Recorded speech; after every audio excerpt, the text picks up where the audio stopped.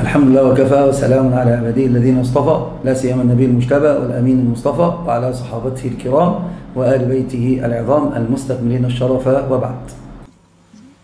سنن ابي داود كتاب الطلاق باب في الخيار.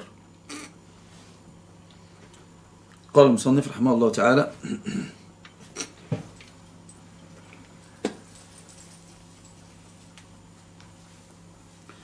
عفوا قال حدثنا مسدد مسدد بن مصرهد من الثقات الأثبات رواه الجماعة الله أكبر.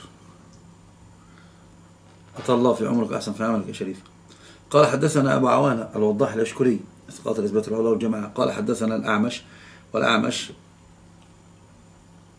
من أساطير المحدثين. إذا قال حدثنا أخبارنا لأنه مدلس. عن أبي الضحى ومسلم بن صبيح الهمداني. أبو الضحى هو مسلم صبيح الهمداني. ومن الثقات وثقه النسائي ويحيى بن معين قال ثقة وابو زرعة أيضا قال ثقة ابن سعد قال ثقة. عن مسروق مسروق بن أجدع أبو عائشة من المخضرمين من ثقات الأثبات رواه الجماعة عن عائشة رضي الله عنه وأرضاها سيد نساء العالمين وأعلى نساء على الإطلاق من السبع المكثرين عن النبي الأمين. قالت خيرنا رسول الله صلى الله عليه وسلم. فاخترناه فلم, فلم يعد ذلك شيئا يعني لم يعد ذلك طلاقا. خيرنا فاخترنا. وهذا أصله في قول الله جل وعلا يا أيها النبي قل لأزواجك إن كنتن تردن حياة الدنيا وزينتها فتعالين أسرحكن فتعالين أسرحكن فتعالين أمتعكن وأسرحكن سراحا جميلا. وإن كنتن تردن الله ورسوله والدار الآخرة فإن الله أعد للمحسنات منكن أجرا عظيما. ودخل النبي صلى الله عليه وسلم على عائشة قال إني إني أستأمرك في أمر فقال إني أستأمرك في أمر فراجع أبويك فيه. فقالت يا رسول الله أراجع أبوي؟ قال نعم. والنبي صلى الله عليه وسلم أراد ذلك بأبي وأمي بحيث أنه يعني كان يخشى أن تتسرع أو تتعجل لأنه يحبها ويريدها بأبي هو وأمي. فقال لها وقرأ عليها الآيات إن, كن إن كنتن تردن الحياة الدنيا وزينتها. فقالت اخترت الله ورسوله لكن لا تخبر أحدا من نسائك. قال ما بعثت متعنتا. ما بعثت متعنتا. وأخبر النساء فكل فكلهن اخترن الله ورسوله والدار الآخرة. هذا ظن بنساء النبي صلى الله عليه وسلم.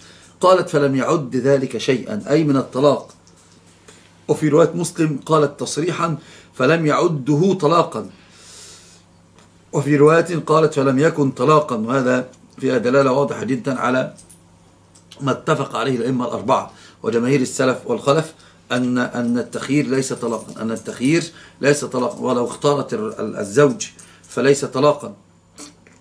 إلا ما جاء عن آه، عن علي بن أبي طالب وهذا قد يثبت وقد لا يثبت صراحة. عن علي بن أبي طالب وزيد بن ثابت وأيضا الحسن والليث قال بأن التخيير يقع به طلقة بائنة. إن خيرها يقع به طلقة بائنة. والحق أن هذا الكلام كلام فيه نظر. وقد قالوا أن مالك قال بذلك وهذا خطأ بين لم لم يقرأ ما لم يقل مالك هذا الكلام.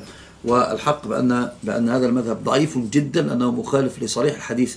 عائشة قالت خير نساءه فاخترناه فلم يعده طلاقا. تصريح ليس تلميحا. فلم يعده طلاقا. فالتخيل ليس ليس بطلاق قال المنذري واخرجه البخاري ومسلم والترمذي وابن ماجه والنسائي. فالحديث صحيح وأن النبي صلى الله عليه وسلم لما خيرهن واخترناه لم يعد ذلك شيئا لم يعده طلاقا. فالتخيل ليس بطلاق الفوائد المستنبطة. فعل النبي تشريع.